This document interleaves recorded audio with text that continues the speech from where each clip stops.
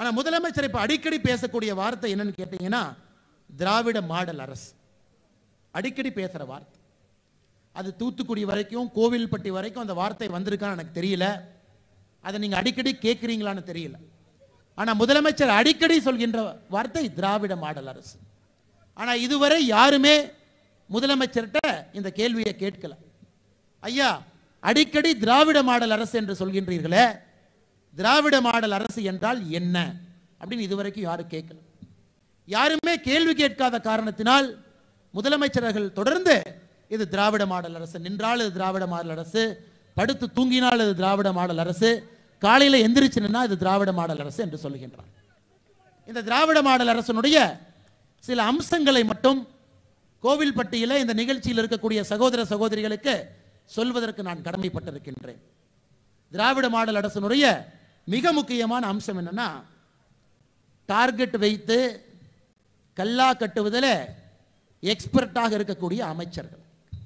அதாவது சரியாக கணக்கு வச்சு அந்த கணக்கை ஒரு ஒரு மாதமும் கச்சிதமாக மக்கள்கிட்டருந்து வசூல் பண்ணி தமிழ்நாட்டை கிட்டத்தட்ட சாராயம் ஓடுகின்ற ஒரு மாநிலமாக மாற்றி எங்கே பார்த்தாலும் கூட குடி குடி குடி என்று சொல்லும் அளவுக்கு பெண்கள் இந்த மாநிலத்தை வெறுக்கும் அளவுக்கு இந்த மாநிலம் இப்பொழுது குடியிலே மூழ்கி இருக்கிறது. முப்பத்தி எட்டாயிரம் கோடி ரூபாய் ஒரு மாநில அரசு நடத்தக்கூடிய டாஸ்மார்க்கிலிருந்து ஒரு மாநில அரசுக்கு வருமானம் வருகிறது. ஒரு ஒரு ஆண்டும் கூட அது நான்காயிரம் கோடி ரூபாய் அதிகமாகிக் கொண்டிருக்கிறது. அடுத்த வருஷம் இதே நேரத்தில் இங்கே மேடை போட்டு பேசும் பொழுது டாஸ்மாகினுடைய வருமானம் நாற்பத்தி இரண்டு ஆயிரம் கோடி ரூபாயை தாண்டி இருக்கும் டார்கெட் வைத்து கல்லாப்பட்டி வைத்து வசூல் செய்யக்கூடியது திராவிட மாடல் அரசாக மாறியிருக்கிறது. எங்கே பார்த்தாலும் லஞ்சம் எதற்கெடுத்தாலும் லஞ்சம். லஞ்சம் கொடுக்காமல் ஒரு சாமானிய மனிதன் எந்த வேலையும் கூட செய்ய முடியாது என்கின்ற நிலைமை இப்பொழுது தமிழகத்தில் ஏற்பட்டிருக்கிறது. ஜென்ரலாகவே திராவிட மாடல் அரசு வந்தா திமுக என்கின்ற கட்சி என்ன சொல்லுவாங்கன்னா சமூக நீதி என்று சொல்லுவார் ஆனா திமுகவினுடைய மேடையில் இன்னைக்கு அமைச்சர்கள் பேசுவது எல்லாம் பார்க்கும் பொழுது சமூக நீதி எங்கே இருக்கிறது? சமீபத்தில் ஒரு அமைச்சர் பேசுறார். ஏமா நீ கவுன்சிலர் தானே? நீ எஸ்சி தானே? இதையெல்லாம் இந்தியாவில் எங்கேயும் யாரும் பேச மாட்டார். திமுகவினுடைய மேடையில் மட்டும்தான் ஒரு ஜாதியினுடைய பெயரை சொல்லி ஒரு கவுன்சிலரை அடையாளப்படுத்துவது திமுகவினுடைய மேடையில் மட்டும்தான் நடந்து கொண்டிருக்கிறது. இதுவும் கூட திராவிட மாடல் அரசு எப்படி பதினாறு மாத காலமாக இருக்கிறது என்பதற்கு ஒரு சான்று. முதலமைச்சர் ரொம்ப பெருமையா கர்வமா சொல்றார். நாங்கள் உங்களுக்கு இலவசமா மகளிருக்கு பேருந்து கொடுத்தனால மாதத்திற்கு எட்நூத்தி எண்பத்தி எட்டு ரூபாய் நீங்க சேமிக்கிறீங்க அப்படிங்கிறாங்க. நான் நிறைய மகளிர்கிட்ட கேட்குறேன் ஏமா அக்கா அம்மா அந்த பேருந்தில் நீங்கள் போனீங்களான்னு? எந்த பேருந்துன்னு கேட்குறாங்க. அதான் இலவசமாக இந்த வண்டிக்கு முன்னாடி லிப்ஸ்டிக் போட்ட மாதிரி ஒரு வண்டி ஓடிட்டு இருக்கலங்கம்மா அந்த பேருந்து எனக்கு தெரிந்த அந்த பேருந்தில் யாருமே ஏறியதை போல் தெரியவில்லை. யாருமே ஏறல. ஆடிக்கொருக்கோ அமாவாசைக்கொருக்கோ ஒரு பேருந்து வரும். அதையும் உயிரை கெட்டியாக பிடிச்சிட்டு உள்ளே ஏறி உட்காரணும். எப்போ படிக்கட்டு இடிந்து விழும் என்று யாருக்கும் தெரியாது. ஒரு நாளைக்கு மொத்தமாக ஒரு ஐந்தாறு பேருந்து எங்கேயாச்சும் ஓடிக்கிட்டு இருக்கும். அதில் எந்த மகளிருக்கு வாய்ப்பு இருக்கிறதோ ஒரு பத்து பேர் இருபது பேர் அந்த வண்டியில் ஏறிட்டு வருவாங்க. அவர்களுக்கு எட்நூற்றி எண்பத்தி எட்டு ரூபாய் மாதத்திற்கு இந்த திராவிட மாடல் அரசு சேமித்து கொடுக்கின்றோம் என்று முதலமைச்சர் அவர்கள் பெருமையாக பேசுகிறாங்க ஆனால் இதே முதலமைச்சருக்கு சொல்கிறேன் ஐயா நீங்கள் பால் விலை ஏத்துனால அதே மகளிருக்கு மாதம் ஆயிரம் ரூபாய் எக்ஸ்ட்ரா போகுது கரண்ட் விலை ஏத்துனால அதே மகளிருக்கு மாசம் ரெண்டாயிரம் ரூபாய் எக்ஸ்ட்ரா போகுது சொத்து வரி ஏத்துனால அதே மகளிருக்கு மாசம் ஆயிரம் ரூபாய் எக்ஸ்ட்ரா போகுது யாரும் ஏறாத ஒரு பேருந்து அந்த பேருந்தில் தப்பி ஏறிட்டீங்கன்னா திமுக அமைச்சர் என்ன கேட்பாருன்னா ஏமா ஓசியில் போனீங்கல்ல? ஓசியில் தான் போனேன்.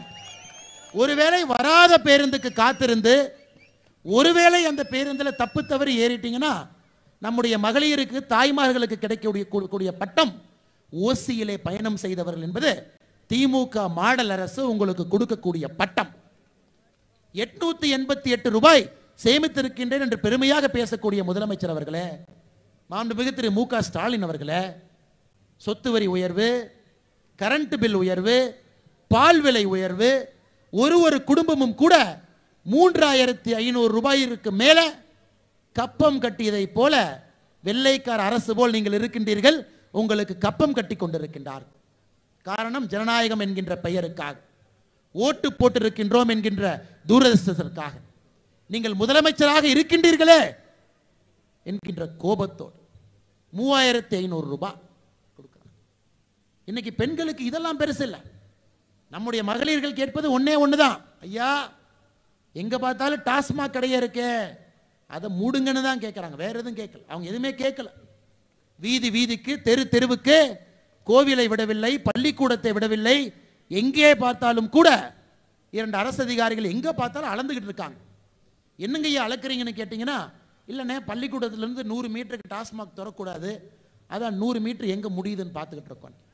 எங்கே பார்த்தாலும் கூட கையில் ஒரு டேப்பை வச்சுக்கிட்டு கோவிலிருந்து நூறு மீட்டர் எங்கே முடியுது? பள்ளிக்கூடத்திலிருந்து நூறு மீட்டர் எங்கே முடியுது? எங்கே அடுத்த டாஸ்மாக திறக்கலாம்? எங்கே இருந்து திமுகவினுடைய முக்கியமான புள்ளிகள் நடத்தக்கூடிய சாராய ஆலையிலிருந்து அதிகமாக வாங்கி எந்த டாஸ்மாக கொடுக்கலாம் என்றுதான் யோசித்துக் கொண்டிருக்கின்றார். இதே முதலமைச்சர் அவர்கள் எதிர்க்கட்சி தலைவராக இருக்கும் பொழுது இந்த பத்தாண்டுகளில் சில முறை வீட்டை விட்டு தைரியமாக வந்திருக்கார். முதல் கொரோனா வந்த பொழுது முதலமைச்சரே வெளியே தைரியமாக வரல. அப்படி தப்பித்தவறி முதலமைச்சர் எதிர்க்கட்சி தலைவராக இருக்கும் பொழுது வீட்டை விட்டு தைரியமாக வந்த பொழுது ஒரு க- கொடியை பிடிச்சிட்டு நின்னார். எதுக்குங்க ஐயா கொடியை பிடிச்சிட்டு நிற்கிறீங்கன்னு கேட்டால் டாஸ்மார்க்கை மூட வேண்டும் என்று கொடியை பிடித்து நிற்கின்றேன். நீங்கள் ஆட்சிக்கு வந்த பிறகுதான் டாஸ்மார்க்கினுடைய வியாபாரம் அதிகமாக இருக்கிறது தீபாவளி அப்போ மக்கள் மகிழ்ச்சியா இருந்தாங்களான்னு இந்த அரசுக்கு முக்கியம் இல்லை. சாராய அமைச்சர் என்ன கேட்கிறாருன்னா 700 கோடிக்கு விற்றீங்களா எட்நூறு கோடிக்கு விற்றீங்களா சரக்கு என்பதுதான் இந்த திராவிட மாடல் அரசனுடைய முக்கிய நோக்கமாக இருக்கிறது சகோதர சகோதரிகளை. இன்னொரு பக்கம் பாரத பிரதமர் நரேந்திர மோடி ஐயா அவர்கள் பார்த்து பார்த்து விவசாய பெருமக்களுக்கு செய்கிறார் பிஎம் கிசான் நிதியில சிறு குறு விவசாயிகளுக்கு வருடத்திற்கு ஆறாயிரம் ரூபாய் வங்கி கணக்கில் தமிழ்நாட்டில் நாற்பத்தி ஆறு லட்சம் விவசாயிகளுக்கு கொடுக்குறாங்க. எல்லாமே மத்திய அரசு கொடுக்குது. மாநில அரசு கிட்ட நாம் என்ன எதிர்பார்க்கிறோம்னா ஐயா விவசாய பெருமக்கள் நெல்லை விளைவிப்பாங்க நெல்லை மூட்டையில் கொண்டு வருவாங்க. அந்த நெல்லை நீங்கள் வாங்கணும்.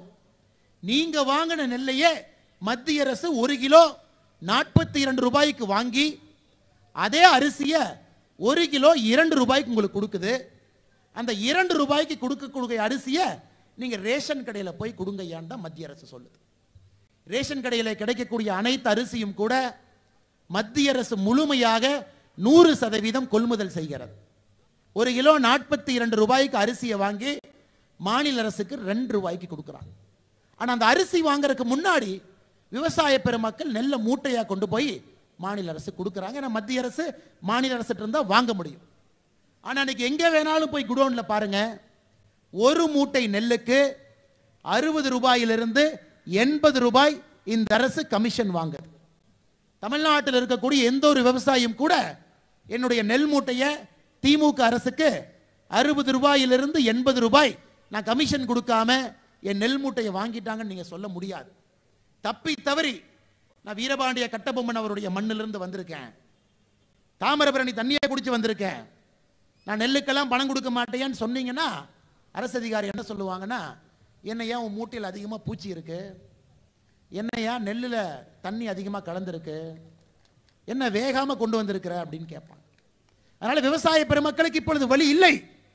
கப்பம் கட்டித்தான் ஆக வேண்டும் என்கின்ற நிர்கதியிலே நம்முடைய விவசாய பெருமக்கள் நின்று கொண்டிருக்கின்றார் ஒரு பக்கம் மோடி ஐயா விவசாய பெருமக்களுக்கு பார்த்து பார்த்து செய்து கொண்டிருக்கின்றார். பார்த்து பார்த்து. இன்னொரு பக்கம் ஸ்டாலின் ஐயா பார்த்து பார்த்து விவசாயிட்டு இருந்து புடுங்கிட்டு இருக்கார். மூட்டைக்கு அறுபது ரூபாய் கிடைக்குமா?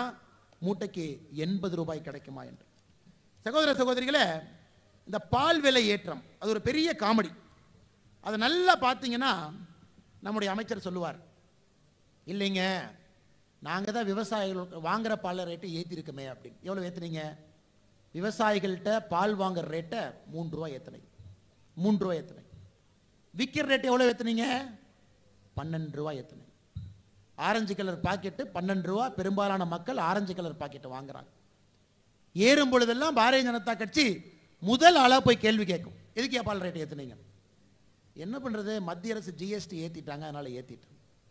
எங்கேயா மத்திய அரசு பாலுக்கு ஜிஎஸ்டி போட்டிருக்குன்னா வாய்க்கோளார் அமைச்சர் ஆமாம் சரிதான். தப்பு நடந்துருச்சு.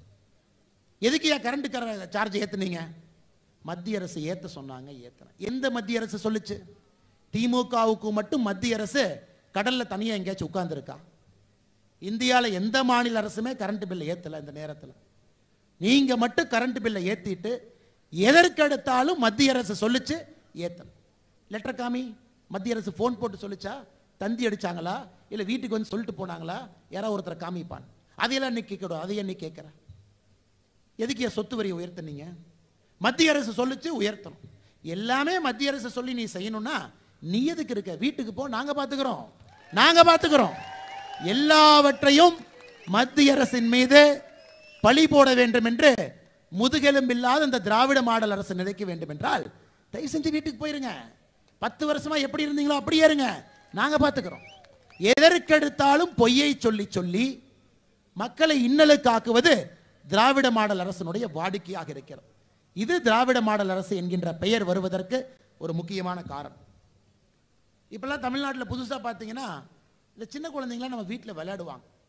இப்போ சின்ன குழந்தைங்கள்லாம் தப்பி தவறி புதுசாக ரோடு போடுற பக்கம் விட்டுறாதீங்க.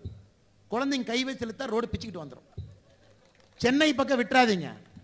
மரப்பாலம் போட்டிருக்காங்க. சைக்கிளோன் வர்றதுக்கு முன்னாடியே ஒரு கோடி ரூபாய் இருபது லட்சம் மரப்பாலம் காற்றுல போயிடுச்சு காற்றுல போயிடுச்சு இது வடிவேல் எங்கேயா கிணத்த காணா அப்படிங்கிற மாதிரி. அதுக்கு டாம்பிகமாக பத்து நாளைக்கு முன்னாடி பார்த்தீங்களா திராவிட மாடல் அரசு மரப்பாலத்தை கட்டியிருக்கோம் பட்டத்திலவரசர் திறந்து வைக்கும் பொழுதே எனக்கு தெரியும். அது பத்து நாளைக்கு மேலே தாங்காது பட்டத்திலவரசரை கூட்டிகிட்டு வந்து ஆரவாரமாக ஆடம்பரமாக திறந்து வச்சாலே என்ன கைராசி அப்படி. படத்தை பார்க்குறோமல்ல? நடிக்கிற படத்தை பார்க்குறோமல்ல? இன்னைக்கு எங்கேயா எங்கேயா பாலத்தை காணானா அண்ணே சைக்கிளோன் வரும் பொழுதே போயிருச்சுண்ணே அப்படின்னு. ஒரு கோடியே இருபது லட்சம் ரூபாய் காணாம் இப்போ போய் பார்த்தீங்கன்னா நாலு ஆணி நாலு ரீப்பர் இருக்கு. ஏயா கொள்ளை அடிக்கிறதுக்கு ஒரு லிமிட் வேண்டாமா? கொள்ளை அடிக்கிறதுக்கு ஒரு லிமிட் வேண்டாமா? ஒரு பாலம் கட்டுறேன்னு ஒரு கோடி இருபது லட்சம் ரூபாய் கணக்கு காட்டியிருக்கேன் அந்த பாலம் ஒரு மலைக்கு நிற்கல பாருங்க எப்படி ரோடு போட்டால் பிச்சுக்கிட்டு வருது. பாலம் வந்து காத்துல பறக்குது. இதெல்லாம் திராவிட மாடல் அரசனுடைய மற்றும் ஒரு சாதனையாக இருக்குது சகோதர சகோதரிகளை. சமீபத்தில் பிரியா அப்படிங்கிற கால் பந்து விளையாடக்கூடிய வீராங்கனை இறந்து போனாங்க. எத்தனை பேர்த்துக்கு பார்த்தீங்களா சென்னையில் ஒரு நல்ல கால்பந்து விளையாடக்கூடிய ஒரு சகோதரி தவறான முறையில் ஆப்ரேஷன் செய்யப்பட்டு அரசு மருத்துவமனையில் இழந்தான் உங்களுக்கு தெரியாத தகவல் என்ன சொல்கிறேன்னா அந்த மருத்துவமனை எங்கே இருக்குது முதலமைச்சரனுடைய சொந்த தொகுதியில் இருக்கக்கூடிய மருத்துவமனை. அவர் எங்கே இருக்கல? தருமபுரி மருத்துவமனையில் இறந்துட்டாங்க. சென்னையிலிருந்து ரொம்ப தூரம். மருத்துவர்கள் தெரியாம ஆபரேஷன் பண்ணிட்டாங்க. மன்னிச்சுங்க இல்ல. பவானி சாகர்ல இல்ல. கன்னியாகுமரியில தக்கலையில் இல்ல. சென்னைக்குள்ள நடு ஊருக்குள்ள முதலமைச்சர் தொடர்ந்து எம்எல்ஏவா இருக்கக்கூடிய தொகுதியில இருக்கக்கூடிய அரசு மருத்துவமனையில் அந்த பாப்பாக்கு தவறான முறையில் மருத்துவ சிகிச்சை கொடுத்து இன்னைக்கு ஒரு குடும்பம் ஒரு நல்ல ஒரு கால்பந்தாட்டு வீராங்கனை இழந்து தவிக்குது. ஆனால் முதலமைச்சருடைய தொகுதின்னு சொல்ல மாட்டாங்க. முதலமைச்சர் தொகுதி ஆனால் இங்கே நம்முடைய சன் டிவி நண்பருக்கு ஒரு குசும்பு. நேராக கிளம்பி நரேந்திர மோடி ஐயாவுனுடைய பழைய தொகுதிக்கு போனாங்க. ஒரு கேமராமேனு நாலு ரிப்போர்ட். நரேந்திர மோடி ஐயா குஜராத்தினுடைய முதலமைச்சராக இருக்கும் பொழுது தமிழர்கள் அதிகமாக வசிக்கக்கூடிய மணிநகர் அப்படிங்கிற தொகுதி ஒரு தொகுதி. மூன்று முறை மக்கள் நம்முடைய பிரதமரை அப்போது முதலமைச்சர் நரேந்திர மோடி அவர்களுக்கு ஆதரவளித்தார். அங்க போய் வீடு வீடா தொலாவினாங்க. முப்பத்தி ஐந்தாயிரம் தமிழர்கள் இருக்காங்க. பிரதமரனுடைய தொகுதி முன்னாள் தொகுதி முதலமைச்சரனுடைய தொகுதி முப்பத்தி ஐந்தாயிரம் தமிழர்கள் இருக்கிற. குஜராத்திலேயே அதிகமாக தமிழர்கள் இருக்கக்கூடிய தொகுதி நம்ம பிரதமரனுடைய முன்னாள் தொகுதி. வீடு வீடா ஏறி இறங்குனாங்க. வீடு வீடா. நம்ம ஸ்டாலின் ஐயாவை பற்றி என்ன நினைக்கிறீங்க? ஒரு அம்மா சொல்லுச்சு தம்பி பக்கத்து வீட்டுக்கு போயிரு. கோவத்தில் இருக்கேன். திராவிட மாடல் அரசை பற்றி என்ன நினைக்கிறீங்க? அப்படியே ஓடி போயிரு. இந்த வீதி பக்கமே வந்துடாது ஆனால் சன் டிவி பண்ண தப்பு என்னென்னா அதை லைவ் டெலிகாஸ்ட் பண்ணிட்டாங்க இந்த டிவிக்காரனுக்கு நிற்கவும் முடியல உட்காரவும் முடியல. என்னடா அது இப்படி ஆகிப்போச்சே முப்பத்தஞ்சாயிரம் பேர்த்தில் யாராச்சும் ஒருத்தர் எங்கேயாச்சும் பிஜேபி சரியில்லை நரேந்திர மோடி அவங்க சரியில்லைன்னா இதை வச்சு ஒரு வருஷம் பிளான் பண்ணி ஓட்டலாமேன்னு டிக்கெட் எல்லாம் போட்டு அனுப்பிச்சு வச்சாங்க. நீங்க பார்த்தீங்கன்னா தெரியும் ஒரு மணி நேரம் டெலிகாஸ்ட்ல லைவ்ல ஒரு தமிழர் ஒரு பெண்மணி. எனக்கு சமாதானம் இல்லைன்னு ஒருத்தர் கூட சொல்ல ரிசல்ட் வந்ததுக்கு அப்புறம் சன் டிவிக்கார எங்கேயோ ஓடி போயிட்டான். இப்போ நான் சொல்றேன் இதையும் போடும் சன் டிவி மணிநகர் தொகுதியில் பாரதிய ஜனதா கட்சியினுடைய வேட்பாளருக்கு எத்தனை பேருங்க? எழுபத்தி ஆறு சதவீத மக்கள் வாக்களித்திருக்கின்றார்கள். எவ்வளவு பேருங்க? நூறு பேர் ஓட்டு போட்டாங்கன்னா நூறு பேர் ஓட்டு போட்டாங்கன்னா எழுபத்தி ஆறு பேர் நரேந்திர மோடி ஐயாவுனுடைய சொந்த தொகுதியில் நூற்றுக்கு எழுபத்தி ஆறு பேர் பாரதிய ஜனதா கட்சிக்கு ஓட்டு போட்டாங்க. நாலு பேர்த்தில் மூணு பேர். பாருங்க. ஒரு தொகுதி எப்படி வச்சிருக்கணும் நானும் மணிநகர் சென்றிருக்கின்றேன். அங்கே போகும்பொழுது மணிநகர் தமிழர்கள்லாம் ஐயா நீங்கள் முருகன் கோயிலுக்கு வரணும்னு கூட்டிகிட்டு போனாங்க. மணிநகரில் ஒரு பெரிய முருகன் கோயில் இருக்குது அங்கே போய் சாமி கும்பிட்டுட்டு எங்கிட்ட சொன்னாங்க. ஐயா அவனுங்க பாருங்கள் டிவிக்காரங்கெல்லாம் சில பேர் மோடி ஐயா வந்து தமிழர்களுக்கு எதிரி எதிரிங்கிறாங்க. மோடி ஐயா ஒரு ஒரு முறையும் வேட்பு மனு தாக்கல் செய்ய போகும் பொழுது ஒரு ஒரு முறையும் இந்த கோயிலுக்கு வருவார். முருகன் அவர் முன்னாடி வேட்பு மனு வைப்பார். இங்கே பூஜை பண்ணித்தான் அந்த வேட்பு மனு போகும். நாங்கள் முப்பத்தி அஞ்சாயிரம் பேர் மணிநகரில் இருக்கோம். மோடிஜிக்காக உயிரை கொடுப்பதற்காக தமிழர்கள் இங்கே இருக்கின்றோம். நம்ம ஊரில் என்ன பொய்ப்பு திலாட்டம் பேசுகிறாங்க பாருங்க ஐயா. அதனால்தான் கும்மிடி பூண்டியை தாண்டி சன் டிவி போனது இதான் முதலும் கடைசியுமா இருக்கணும். இந்த விஷ பரீட்சை விபரீதமான பரீட்சை குஜராத்துக்குள்ளே போய் எட்டி பார்க்குறேன் கர்நாடகாக்குள்ளே போய் எட்டி பார்க்குறேன் இந்த விபரீத விஷ பரீட்சை விட்டுட்டு கும்முடி பூண்டி பார்டருக்குள்ளே அரசியல் செஞ்சு பழகணும். அதான் சன் டிவி நண்பர்களுக்கு பாரதிய ஜனதா கட்சியிலிருந்து நாங்கள் கொடுக்கக்கூடிய அன்பான வேண்டுகோள். இதுவும் திராவிட மாடல் அரசுக்கு ஒரு உதாரணம் சகோதர சகோதரிகளை. இப்போ இன்னொரு விஷயம் பார்த்தீங்கன்னா நம்ம அமைச்சர்கள். ஒரு காலத்தில் மக்களை வந்து காப்பாற்றணும் காவல்துறை இருந்துச்சு. இப்போ காவல்துறையினுடைய முக்கியமான வேலையை மக்களை அமைச்சர்கள்ட்ட இருந்து காப்பாற்றுறது தான் உங்க முக்கியமான வேலை. ஆனால் பெட்டிஷனை கிட்டிஷனை தெரியாமல் கொண்டு போயிட்டீங்கன்னா அமைச்சர் பெட்டிஷனை வச்சு ஓங்கி அடிப்பார். நம்ம கே கேஎஸ்எஸ் அண்ணன். பக்கத்து மாவட்டம். அதற்கு பாரதிய ஜனதா கட்சி ஆர்ப்பாட்டம் பண்ணி கேகேஎஸ்எஸ்ஆர் நீ மன்னிப்பு கேள். அவர் பயந்துட்டார். தம்பி செல்லமாக அடிச்சிட்டேன் ஒருக்கா விட்டுருப்பான் அதனால் இந்த பக்கத்தில் இருக்கக்கூடிய நிறைய அமைச்சர்கள்ட்ட பார்த்தீங்கன்னா பெண்களை அமைச்சர்கள்ட்ட இருந்து காப்பாத்துறக்கே தமிழக காவல்துறையில் ஒரு சிறப்பு படையை உருவாக்க வேண்டிய கட்டாயம் முதலமைச்சருக்கு வந்து மேலிருந்து பேசுறது அமைச்சர்கள்லாம் இப்போ பார்த்தீங்கன்னா கோவப்பட்டு ஒரு அமைச்சர் அன்னைக்கு கை ஓங்கினாரு. தாமோ அன்பரசு அண்ணன் சென்னை பக்கத்தில். அனைத்து இடத்திலும் கூட இது தொடர்ந்து நடக்குது. காரணம் பெண்களை தமிழர்களை வாக்கு செலுத்திய பிறகு மனிதர்களாக மதிக்கக்கூடிய பான்பு திராவிட முன்னேற்ற கழகத்துக்கு இல்லை. அந்த ஓட்டு போடுற ஒரு மாதம் மட்டும்தான் நமக்கு மவுஸ். அந்த ஒரே மாதம் காலில் விழுவாங்க கையில் விழுவாங்க உருண்டு பிறழுவாங்க எல்லாம் செய்வாங்க. அந்த ஓட்டு போட்டு நான்கு வருடம் பதினோரு மாதம் ஏன்பா வந்த? ஒருக்க சொன்ன அறிவில்லை. டெய்லி வந்துக்கிட்டே இருப்பேன் அதான் செய்கிறேன்னு சொன்னேன்ல. இந்த மாதிரி வார்த்தை. பன்னெண்டாவது மாதம் அதாவது அஞ்சு வருஷம் முடியும் பொழுது தாய்மார்களே பெரியோர்களே நாங்கள் இதெல்லாம் பண்ணுறோம் தயவு செஞ்சு ஓட்டு போடுங்க. அதை இப்பொழுது வெட்ட வெளிச்சமாக பார்த்து கொண்டிருக்கின்றோம். ஒரு திமுகவினுடைய எம்பி நம்முடைய தாய்மார்களை மிக கொச்சையான மிக கொச்சையான ஒரு வார்த்தையாக சொல்கிறார் நீங்கள் பார்த்துருப்பீங்க அந்த வார்த்தையை பெண்கள் இங்கே இருக்காங்க நான் சொல்லக்கூடாது. இதெல்லாம் தொடர்ச்சியாக திமுக மேடையில் நடந்து கொண்டிருக்கிறது. காரணம் பெண்களை மதிக்க தெரியாத ஒரு கட்சியாக திமுக மாறியிருக்கு. முதலமைச்சருக்கு இன்னொரு வேலை. இந்த படமெல்லாம் பார்த்து ரிவ்யூ கொடுப்பார். இந்த படமெல்லாம் பார்த்ததுக்கப்புறம் கொஞ்சம் நேரம் இருந்ததுன்னா ஆஃபீஸ் போவார். அதுக்கெல்லாம் கழித்து கொஞ்சம் நேரம் இருந்ததுன்னா வேலை பார்ப்பார். இப்போ சமீபத்தில் அவர் பார்த்த படமெல்லாம் பா- நான் சொல்கிறேன் நீங்கள் கேளுங்களேன். நல்லா இருக்கும். சென்னையில் அவனுக்கு மெட்ராஸை வந்து இந்த கண்ணை திறக்க முடியாது அந்த கண்ணை திறக்க முடியாமல் ரோட்டில் நடந்து போயிட்டுருக்கு மருத்துவத்துறைக்கு ஒரு அமைச்சர் மா சுப்பிரமணியன் இருக்காங்க.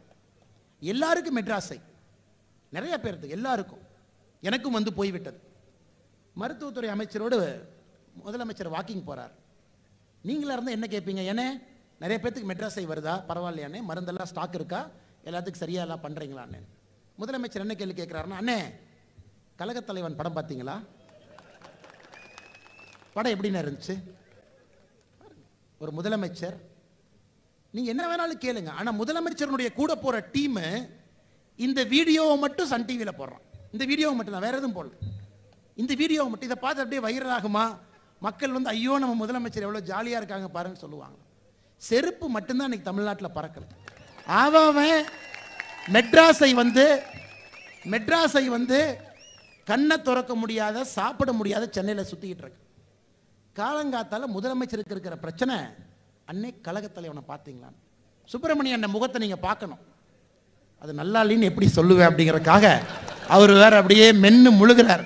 ஆனால் பார்த்தனே நல்லா இருக்குண்ணே அப்படி ஏங்க பஸ்ஸில் டிக்கெட் விற்கிற மாதிரி தேட்டருக்கு வெளியே டிக்கெட்டாக விற்கிறானு திமுக காரங்கெல்லாம் பிடிச்சி பிடிச்சி அந்த படத்தை பார்க்க வைக்கிறாங்க நான் சொன்னேன் அண்ணே அந்த படத்தை போய் நிறைய பேர் பார்க்க பார்க்க பிஜேபிக்கு ஓட்டு வருன்னு எல்லாம் போய் பார்க்கட்டும். அதாவது இந்த சோப்பு சீப்பெல்லாம் விற்பாங்க. நீங்களாம் டிவியில் பார்ப்பீங்க. ரெண்டு கோடி ரூபா அமெரிக்கானுக்கு அட்வர்டைஸ்மெண்ட்டுக்கு பணம் கொடுத்து அமெரிக்கான் வந்து இந்த பேஸ்ட் போட்டிங்கன்னா உங்களுக்கு இந்த மாதிரி அப்படியே பல பல பலன் இருக்கும் அப்படின்னு. அதெல்லாம் பிராண்ட் அம்பாசிடர் அப்படிம்பாங்க. ஆனால் நம்முடைய பட்டத்திலவசருக்கு எத்தனை படத்தை எடுப்பீங்க? எத்தனை படத்தை எடுத்து எங்களை சாவடிப்பீங்க? எத்தனை படத்தை நாங்கள் பார்க்கணும்? நீங்களே சொல்லுங்க. நான் முதலமைச்சருக்கு தெரியாமல் கேட்குறேன் அந்த ஒரு மனுஷனை ப்ரமோட் பண்ணுறக்கு பட்டத்திலவரசரை டிசம்பரில் தான் அமைச்சராக்குறாங்களாம் இன்னொரு பத்து நாள் அமைச்சர் ஆக்குறனா தயவு செஞ்சு ஆக்கிட்டு போய் தொலைங்கய்யா. அவர் அமைச்சர் ஆக்கிறதுக்காக நீங்கள் கொடுக்குற பில்டப் இருக்கே. படம் படமாக எடுத்து அந்த படத்தை வேற யாரையும் பார்க்க விடாமல் எல்லா தேட்டர்லேயும் அந்த படத்தை போட்டு அந்த படத்தை மட்டும்தான் பார்க்கணும்னு வேற பண்ணி மக்கள் பிரதிநிதிகள் மேயர்லாம் ஓடுது. எங்கம்மா ஓடுறீங்கன்னா முதல் நாள் ஷோ பார்க்க போகிறேன் நௌரியாங்கிறாங்க. திமுகனுடைய மக்கள் பிரதிநிதிக முதல் நாள் இந்த படத்தை போய் எந்த தேட்டரில் பார்க்கலான்னு நீங்கள் காட்டுற ஆர்வத்தை ஒரு நாள் மக்களுக்கு காமிச்சீங்கன்னா எவ்வளவு பிரச்சனைகள் அந்த சமுதாயத்தில் குறையும். எவ்வளவு பிரச்சனைகள் குறையும். இதற்கு முன்னாடி இந்த கழகத் தலைவனுக்கு முன்னாடி முதலமைச்சர் பார்த்த இன்னொரு படம் இருக்கு. அந்த படத்து பேர் லவ் டுடே. இந்த லவ் டுடே படம் பார்த்தீங்கன்னா இதெல்லாம் முதலமைச்சர் பார்க்குறாரு. அது ஏதோ ரெண்டு பேர் காதலிக்கிறாங்களாமா? காதலிக்கிறவங்க செல்ஃபோனை ஒரு நாள் மாற்றிக்கணுமா அதான் கதை. இப்படியெல்லாம் கதை யோசிச்சு எடுக்கிறாங்க பாருங்க. அந்த செல்ஃபோனை அந்த பையனுடைய செல்ஃபோன் பொண்ணுக்கும் பொண்ணு செல்ஃபோன் பையனும் வாங்கிக்கணும். உதயநிதி ஸ்டாலின் சொல்கிறார் எங்கள் அப்பா எங்கள் அம்மா நான் மூணு பேர் படம் பார்த்தோம். எங்கள் அப்பா சொன்னார் என்ன அற்புதமான படம்? கலைஞருடைய பையன். பாருங்க. கலைஞருடைய பையன். என்ன அற்புதமாக இந்த படம் இருக்குன்னு சொன்னார். படமெல்லாம் பார்த்து முடிச்சுட்டு எங்கள் அம்மா கேட்டாங்க ஏங்க அந்த படத்தில் வர்ற மாதிரி நாமளும் செல்ஃபோனை மாற்றிக்கலாமான்னு விட்டோம் பாருன்னு நாங்களும் எங்கள் அப்பா ஓடணும் பாருங்க. அந்த ஏரியாலே இல்லை ஏங்க ஒரு செல்ஃபோனை நம்பி முதலமைச்சர் கொடுக்கல. ஆனால் முதலமைச்சர் நம்பி இன்னைக்கு எட்டரை கோடி பேர் இருக்கும். என்ன நடக்குமோ காலங்காத்தால் இவர் என்ன பேசுவாரோன்னு. ஒன்றுமே புரியும் கர்ம வீரர் காமராஜர் ஐயா ட்ரெயினில் போய் பார்த்துருக்கோம். நீங்களும் ட்ரெயினில் போயிருக்கிறீங்க. ஒரு துண்டை போட்டுக்கிட்டு ட்ரெயினில் ஏறி போவார். யாராவது முதலமைச்சர் ட்ரெயினில் வந்த மாதிரி பார்த்துருப்பீங்களா? சொகுசு மெத்தை பஞ்சு மெத்தை அதுவும் கரெக்டாக அங்கேயும் சன் டிவி லைவாக வந்துட்டு இருக்கு அவர் வேற உள்ள உட்காந்துட்டு யோசிக்கிறார் என்னையா அது? வேறு- இது ட்ரெயினா விமானமா? இது என்ன வீடா? நம்ம வேற ட்ரெயினில் ரொம்ப நாளைக்கு முன்னாடி ட்ரெயின் பிடிச்சி சென்னைக்கு வந்து இப்படி பண்ணி வச்சிருக்கானுங்களே. அதை வேற அட்வர்டைஸ்மெண்ட் முதலமைச்சர் அவர்கள் சாமானிய மனிதனை போல ட்ரெயினில் போனார். சாமானிய மனிதனை போல ட்ரெயினில் போனார்னா ஸ்லீப்பர் கிளாஸில் பெட்ஷீட்டு தலைவாணி எடுத்துகிட்டு போய் சாமானிய மக்களுக்கு என்ன பிரச்சனை இருக்குது மூட்டைப்பூச்சி இருக்கா? பாத்ரூம்லாம் கழுவுறாங்களா? நல்லா வந்து பார்க்குறாங்களான்னு. ஏன்னா தொண்ணூற்றி ஒம்பது புள்ளி ஒம்பது சதவீத மக்கள் போவது சாமானிய கம்பார்ட்மெண்ட் ஒரே ஒரு கம்பார்ட்மெண்ட்டை தனியாக எடுத்து அந்த ஒரே ஒரு கம்பார்ட்மெண்ட்டில் நீங்கள் மட்டும் உட்காந்து கண்ணாடியை பார்த்து உங்கள் அழகை ரசிச்சுட்டே வந்தீங்களா தென்காசி வரைக்கும்? இதையெல்லாம் வேற நம்மளை கோமாளிகளைப் போல இதையும் தமிழக மக்கள் ஏற்றுக்கொள்வார்கள் என்று சன் டிவியில் நியூஸை வேற போகிறேன் இதையும் பார்க்க வேண்டிய அவலம் ஒரு திராவிட மாடல் அரசுக்கு ஒரு உதாரணம்.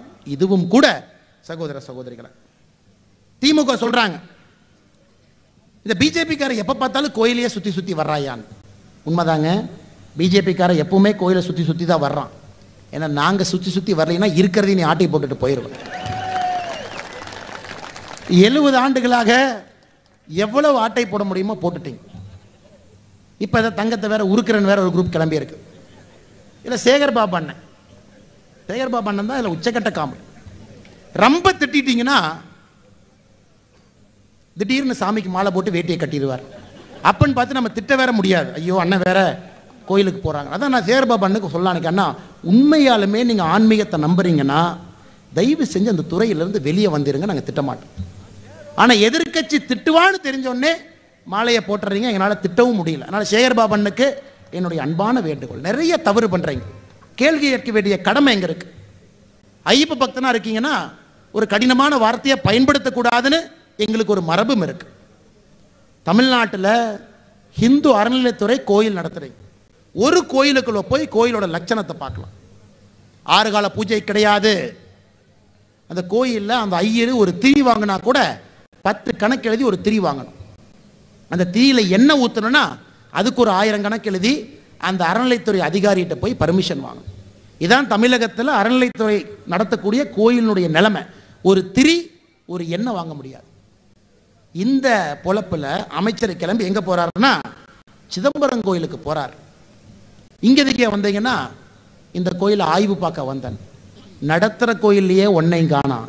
நல்லா நடந்துட்டு இருக்கிற கோயிலுக்கு நீங்கள் எதுக்கு வர்றீங்க? நீங்கள் கோயில் நல்லா நடத்தி காட்டிட்டு அறநிலைத்துறை கைக்கு வந்த பிறகு விஐபி தர்ஷன் கிடையாது. அனைத்து மனிதர்களும் சமம். யாருக்கும் எந்த பிரச்சனையும் இல்லை. தமிழகத்தில் இருக்கக்கூடிய அனைத்து கோவிலும் கூட அனைவருக்கும் மத்தியான உணவு. எல்லா கோயிலும் ஒரு பள்ளிக்கூடத்துக்கு பணம் கொடுக்குது. எல்லா கோயிலும் காலேஜ் நடத்துது. இந்த மாதிரி இந்த கோயிலை வைத்தே தமிழகத்தை நடத்தலாம். எக்ஸ்ட்ரா ஃபண்ட் எதுவுமே வேண்டாம்.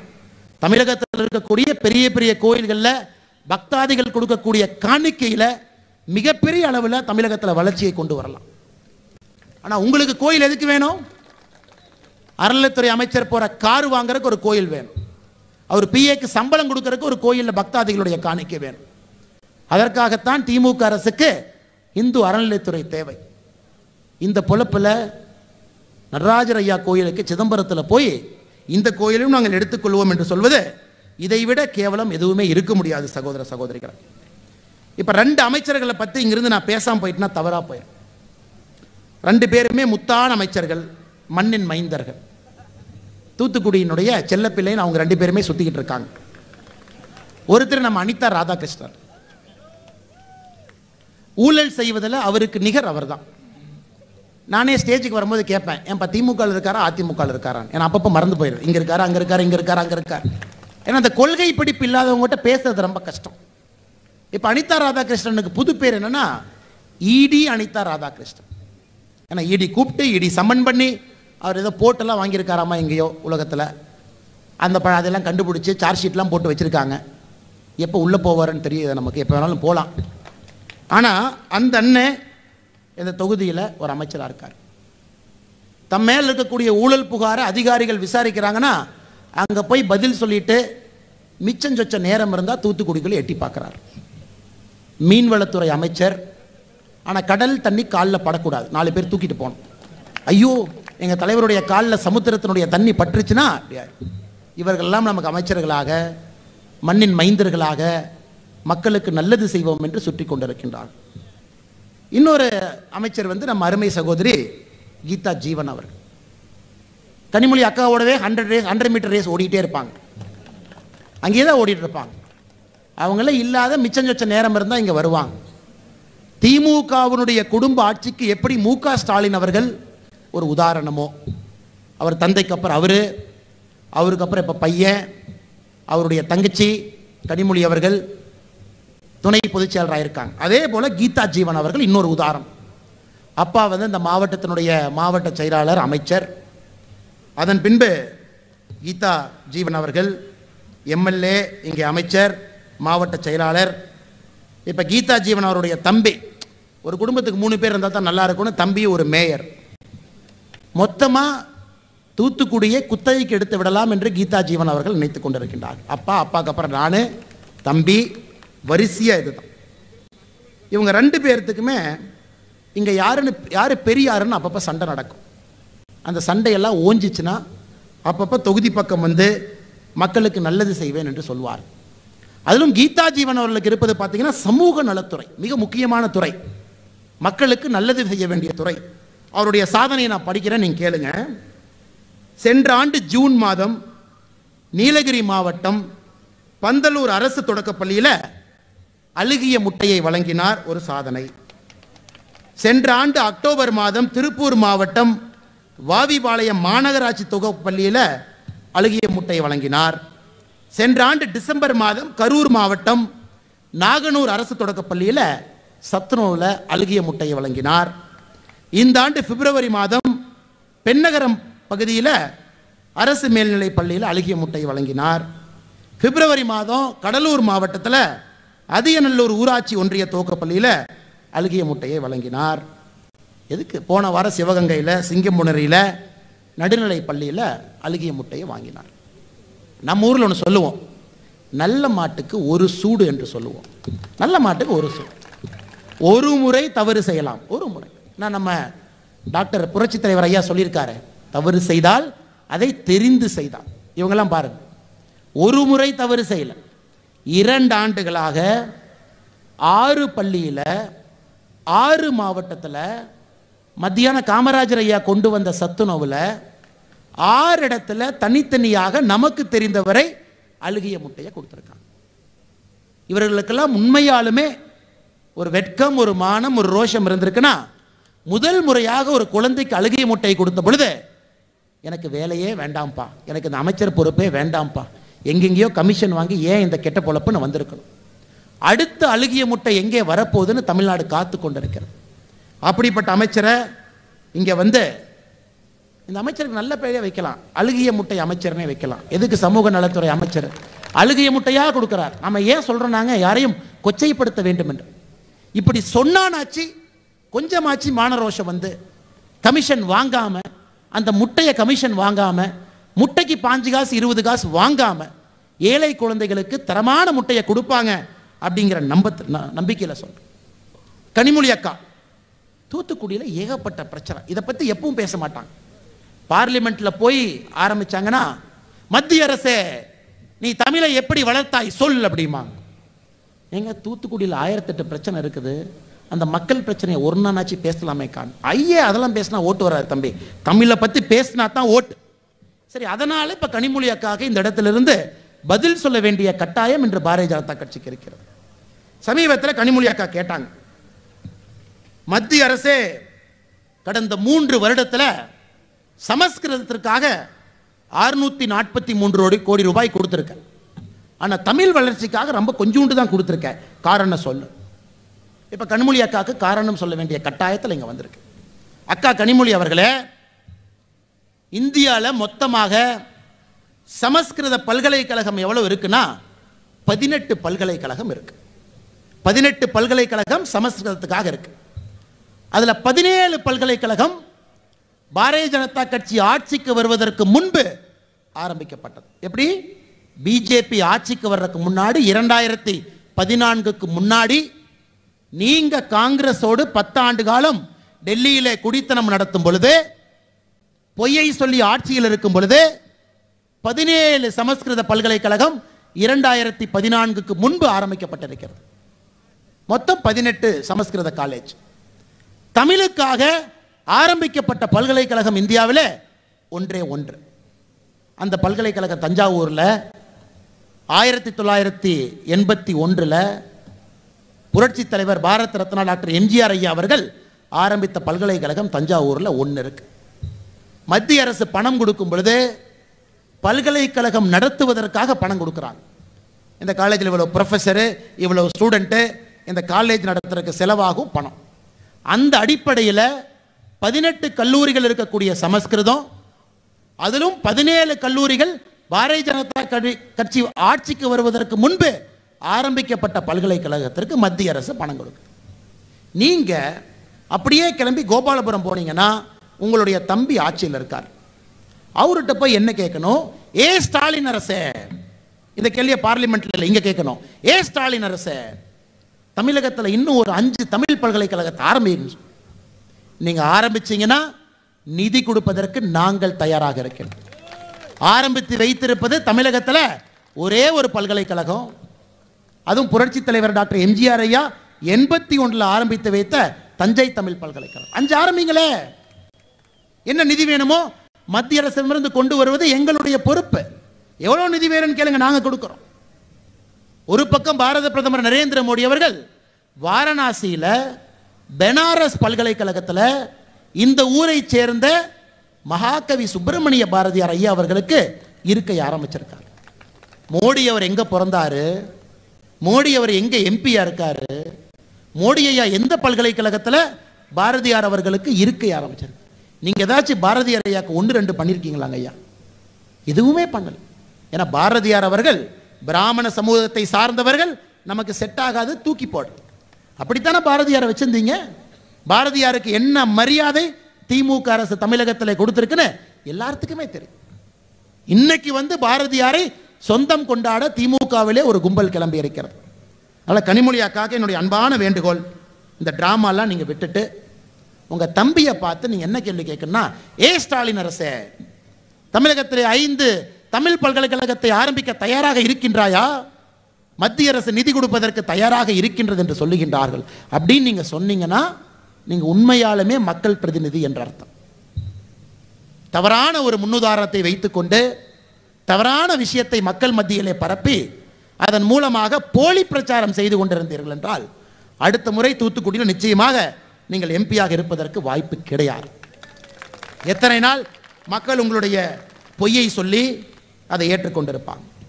இப்போ திமுக சில வாக்குறுதியும் கொடுத்தாங்க. இப்போ கோவில்பட்டி மக்கள் கேட்கலாம் பிஜேபி அரசு நமக்கு என்ன பண்ணியிருக்கு நரேந்திர மோடி ஐயா இல்லைங்க வாஜ்பேயி ஐயா தொண்ணூற்றி எட்டில் ஆட்சியில் இருக்கும் பொழுது சைனாவிலிருந்து வரக்கூடிய தீப்பெட்டியை அன்னைக்கே தடை பண்ணார். ஒருவேளை அன்னைக்கு வாஜ்பேயி ஐயா தொண்ணூத்தெட்டில் தீப்பெட்டியை தடை செய்யாமல் இருந்தால் இன்னைக்கு கோவில்பட்டியில் தீப்பெட்டி தொழிற்சாலை இருக்காது. ஏன்னா சைனாக்காரனை பொறுத்த வரைக்கும் தயாரிக்கிற விலை உற்பத்தி விலையை விட இன்னும் குறைவாக மார்க்கெட்டில் கொடுப்பான். அரசே சப்சிடி கொடுத்து உற்பத்தி விலையை வர குறைத்து கொடுக்கும். தொண்ணூற்றி எட்டில் வாஜ்பேயி ஐயா கோவில்பட்டியை காப்பாற்றுவதற்காக எடுத்த அந்த முடிவுனால இன்னைக்கு நாம் இங்கே உட்கார்ந்துட்டு இருக்கோம். இரண்டாவது நம்முடைய அரசு. வந்த பிறகு கோவில்பட்டியிலிருந்து மக்கள் கேட்டீங்க. எங்களுக்கு ஜிஎஸ்டி தீப்பெட்டி தீக்குச்சி குறைக்க வேண்டும் என்று. உங்களுடைய கோரிக்கையை ஏற்றுக்கொண்டு மோடி ஐயா மோடி அரசு ஜிஎஸ்டியை பதினெட்டு சதவீதத்திலிருந்து தீப்பெட்டிக்கு பன்னிரண்டு சதவீதமாக குறைத்திருக்கின்றார். இது அனைத்துமே நம்ம அரசு உங்கள் மீது வைத்திருக்கக்கூடிய மரியாதை. நீங்க சொன்ன தேர்தல் வாக்குறுதியை கொஞ்சம் சொல்றேன் கேளுங்க. நான் ஆட்சிக்கு வந்தோம்னா டாஸ்மாக் கடையை மூடிட்டு கல் இறக்க அனுமதி கொடுப்போம்னு சொன்னீங்க தூத்துக்குடியில் பனைமரம் வச்சிருக்கிறவங்க பனைமரத்தை டெய்லி பார்த்து காலையில் பார்த்துட்டு காத்துக்கிட்டு இருக்காங்க. எப்போ இவனை நம்பி கல் இறக்கிறது? எப்போ பனைமரத்தில் ஓலையெல்லாம் எழுக்கிறது எப்போ பனைமரத்தை வளர்க்குறது? பதினாறு மாதம் ஆச்சு தயவு செய்து கல்லறைக்கு அனுமதி கொடுங்க. டாஸ்மாக்கை மூடுங்க. விவசாயிகளுக்கு மிகப்பெரிய அளவில் மிகப்பெரிய அளவில் தூத்துக்குடி பகுதியில் மிகப்பெரிய அளவில் விவசாயிகள் செழிப்பார். ஆனால் அவங்களால முடியாது. ஏங்க சாராய ஆலையும் நீங்களே நடத்திட்டு டாஸ்மாக்கை மூடுவேன்னு சொன்னால் எப்படிங்க நம்புறது? இது எப்படின்னா தொட்டில் இருக்கக்கூடிய குழந்தையை கிள்ளி விட்டு தொட்டிலை ஆட்டுவது போல. அதற்கு முதலிலே அண்ணன் டிஆர் பால் அவர்கள் நடத்தக்கூடிய சாராய ஆலயம் மூடணும். ஆனால் ஒரு பேர் மட்டும் இன்னைக்கு சொல்லுவோம். அது யார் பேரில் இருக்குன்னு எல்லாத்துக்குமே தெரியும். அது எவ்வளவு மாத வருமானம் வருதுன்னு எல்லாத்துக்குமே தெரியும். டிஆர் பால் அவர்களுடைய சாராய ஆலை தமிழகத்தில் கிட்டத்தட்ட இருபத்தி அஞ்சு சதவீத சாராயத்தை அவர் மட்டுமே கொடுக்குறார். திமுகவில் ஒரு எம்பியாக இருக்கார் அவர். அவரை கூப்பிட்டு சொல்லுங்க அண்ணே இந்த சாராயத்தை கொஞ்சம் நிறுத்துங்க. அதான் நிறையா சம்பாதிச்சிட்டீங்களா இன்னதுக்கு சம்பாதிக்கிறீங்க. இப்போவாவது எங்களுடைய பெண்களுடைய தாலி பத்திரமாக இருக்கட்டும். நீங்கள் சொன்ன அந்த கல் இறப்பதற்கான அனுமதி கொடுங்க. மீன்பிடி தடைக்கால நிவாரண நிதியாக எட்டாயிரம் ரூபா கொடுப்போம்னு சொன்னேன். நீங்கள் ஞாபகம் வச்சுக்கோங்க இன்னைக்கு நம்முடைய மீனவர்களுக்கு கொடுக்கக்கூடிய நிதி அனைத்துமே மீன்பிடி தடைக்கால நிவாரண நிதி அனைத்துமே மத்திய அரசு கொடுப்பது நீங்கள் கொடுப்பது இல்லை. அதனால் நீங்கள் சொன்னதை செஞ்சு காட்டுங்க வேளாண் கூட்டுறவு சங்கங்கள் மூலமாக பனை வெள்ளத்தை கொள்முதல் பண்ணி ரேஷன் கடையில் கொடுப்பேன்னு சொன்னீங்க போன வருஷம் ஒப்புக்கு சப்பானியாக பேசுனீங்க. ஒரு பனை வெள்ளத்தை ஒரு ரேஷன் கடையில் எங்கேயாச்சும் கொடுத்துருக்கீங்களா? நாங்கள் அதை பார்க்கணுமே. கொடுக்கல. அனைத்தும் போய் பதினாறு மாதம் ஆயிடுச்சு அதையும் செய்யும் பீடி தொழிலாளர்களுக்கு நூறு படுக்கை கொண்ட மருத்துவமனையை கட்டி கொடுக்க போறேன்னு தேர்தல் வாக்குறுதியில் சொன்னீங்க ஏன் அந்த செங்கலையும் பட்டத்திலவரசர் தூக்கிட்டு ஓடிட்டாரா? இந்த மருத்துவமனை என்னாச்சு? பட்டத்திலவரசர் அந்த செங்கலையும் தூக்கிட்டு சினிமா ஷூட்டிங் நடிக்க போயிட்டாரா? மருத்துவமனை எங்கே? பீடி தொழிலாளருக்கு ஒன்றையும் காணாமே. இதையெல்லாம் தொடர்ந்து நாம் கேட்டுகிட்டே இருக்கோம். சகோதர சகோதரிகளே அதிகமாக உங்களுடைய நேரத்தை எடுப்பது கூட தவறு. ஒன்பதே கால் மணிக்கு ஒரு சாயங்காலம் இவ்வளவு பொறுமையாக மக்கள் அமர்ந்திருப்பது அது சரித்தம். சமீபத்தில் முதலமைச்சர் ட்ரெயின் ஏறினார். தென்காசிக்கு. அப்போ நம்ம ஊப்பின்னு சொல்லுவோம். உங்களுக்கு தெரியும் ஊப்பின்னா யாருன்னு. உடன்பிறப்பு. ஒரு உடன்பிறப்பு சொன்னார் தளபதி இந்த சங்கீஸ் தொல்லை தாங்க முடியல தளபதி இப்பத்தான் நம்ம ஆளுக வந்திருக்காங்க. இப்பவே கலந்துறனா எப்படி? இன்னும் வேற டைம் வேற இருக்குது உடனே முதலமைச்சருக்கு என்ன பண்றதுன்னு தெரியல. என்னடா அவனுகிட்ட இருந்து தப்பிச்சு ட்ரெயினில் போகலான்னு பார்த்தா இங்கேயும் வந்து ஒரு ஊப்பி நம்மளையே பார்த்து தளபதி இந்த சங்கிங்க தொல்லை தாங்க முடியல கொஞ்சம் பார்த்து காப்பாத்துன்னு சொல்கிறீங்களே அந்த அளவுக்கு முதலமைச்சர் பார்த்தீங்கன்னா கிடுக்கு பிடியில் மாட்டியிருக்கார். இங்கேயும் போக முடியாமல் குடும்பம் மருமகன் மகன் எல்லாம் அவங்க ஒரு பக்கம் மனைவி இப்படி பண்ணுங்க அப்படி பண்ணுங்க இங்கே கமிஷன் வருதுன்னு. இன்னொரு பக்கம் நம்ம சங்கிங்க. ஏன் தப்பு பண்ணுறீங்க ஏன் அதை பண்ணுறீங்க ஏன் அப்படி பண்ணுறீங்க ஆர்ப்பாட்டம் போராட்டம் டெய்லி நடத்துகிறான் அந்த நேரத்தில் முதலமைச்சரை பார்த்து அந்த யூபி அந்த கேள்வி கேட்டார்னா ஏற்றுக்கலாமான்னு நீங்களே சொல்லுங்கள் அதனால் அந்த உடன்பிறப்புக்கு நான் இப்போது பதில் கொடுக்க கடமைப்பட்டிருக்கிறேன். தம்பி இப்போ தான் வந்திருக்கும். இப்போ தான் வார்மப் ஆகிருக்கும் இப்போ தான் சட்டி சூடாக இருக்குது இன்னும் பதினேழு மாதம் இருக்கு. ரெண்டாயிரத்தி இருபத்தி ஏழு பாராளுமன்ற தேர்தல் வரைக்கும் இதை விட பயங்கரமாக இருக்கும். இதுக்கே கதறினீங்கன்னா இன்னும் கதறக்கு நிறையா இருக்கு என்று அந்த யூபிக்கு அன்போடு இந்த மேடையிலேருந்து தெரிவிச்சுக்கிறேன் அடுத்து பார்த்தீங்கன்னா இந்த திமுக கட்சி. தனிப்பட்ட முறையில் என்னை விமர்சனம் பண்ணுறது உங்களுக்கு ஒரு பொழுதுபோக்கு. ஒரு அவார்டு கொடுப்பாங்களாட்டிருக்கு இந்த மாதம் அண்ணாமலை யார் யார் அதிகமாக திட்டினேன் அண்ணே நான் திட்டினேன். ஓகே உனக்கு ஒரு அவார்டு இந்த வருஷம் இந்த மாதம் யார் யார் திட்டினேன் நான் திட்டினேன். காலையிலிருந்து இரவு வரை இவனுக்கு ஆரம்பிச்சிடறானுங்க ஆரம்பித்து நம்ம குடும்பம் என்னைய எப்படி எங்கே படித்தேன் என்ன பண்ணேன். இதில் நீங்கள் கொடுக்குற கவனத்தை கொஞ்சமாச்சு மக்கள் பக்கம் மக்களுடைய குறைகள் பக்கம்.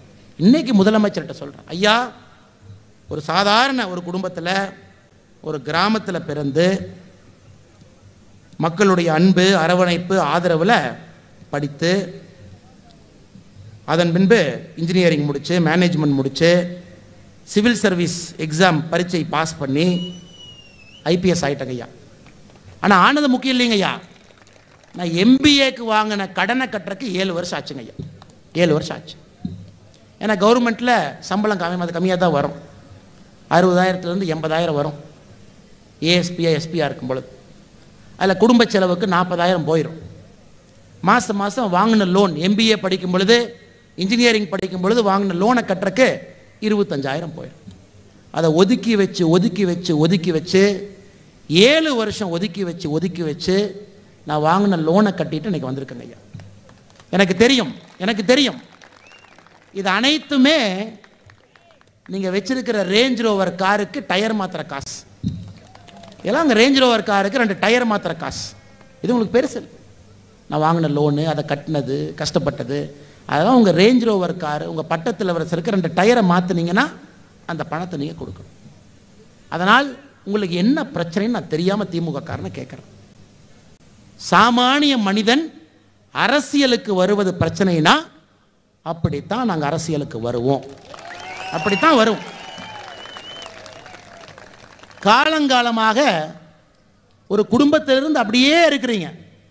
புதுசாக ஒருத்த வந்து கேள்வி கேட்டுருவான் அப்படின்னு நீங்கள் நினச்சிங்கன்னா என்னை மாதிரி லட்சக்கணக்கான புதியவர்கள் வருவார்.